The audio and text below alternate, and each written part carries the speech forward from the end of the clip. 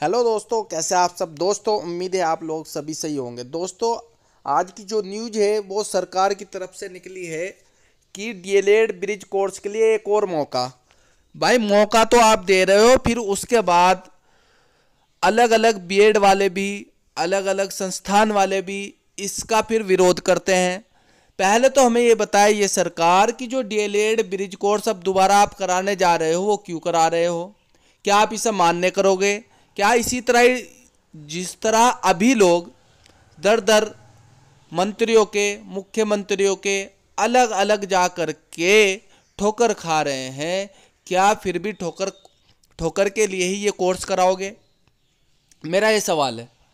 इन्हें मौका तो दे रहे हो, जैसे N S D L Ed करा है आपने, फिर उसी तर्ज पर एन एस से ही कराएँगे आप, फिर मुझे लग रहा है डी एल एड और ब्रिज कोर्स मौका दोगे एक बार और।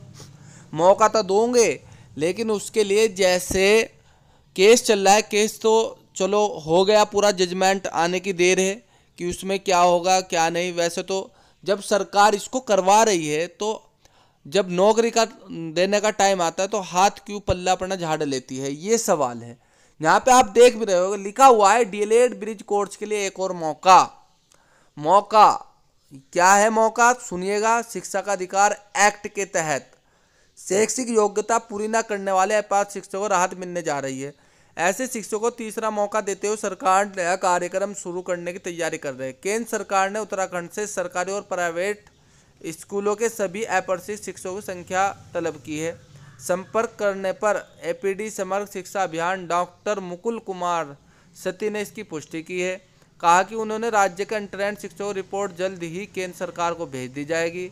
और ये आपको पता ही देखो, लिखा हुआ है, मंत्रालय निदेशक डॉक्टर ई. नवीन निकोलस सरकार को भेजे पत्र में दो हज़ार उन्नीस तक शिक्षक पूरी करने की छूट के बावजूद बड़ी संख्या में अप्रशिक्षित शिक्षक कार्यरत है।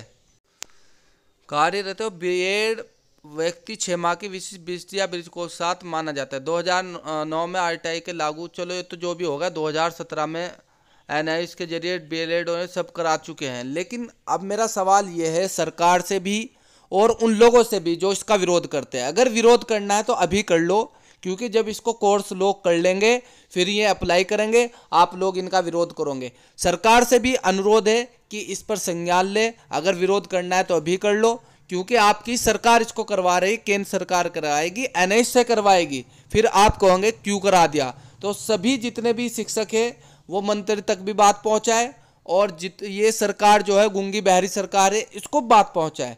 और जो केंद्र सरकार है अब इसे कराने जा रही है। अब इसको कोई दिक्कत नहीं होगी सभी लोगों को। और जब दिक्कत होगी तो तब होगी जब ये अप्लाई करेंगे।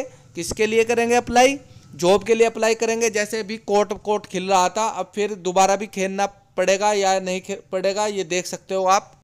वैसे तो जीत ही गए हैं अब अब तो मुश्किल खिलेगा कोर्ट कोर्ट लेकिन यह सरकार से और जो लोग इसका विरोध करते हैं, वो अभी विरोध कर ले। मैं, मेरा कहने का तात्पर्य ये था, क्योंकि अगले दिन ये कोर्स ही सरकार करा रही है और फिर विरोध भी यही करेगी।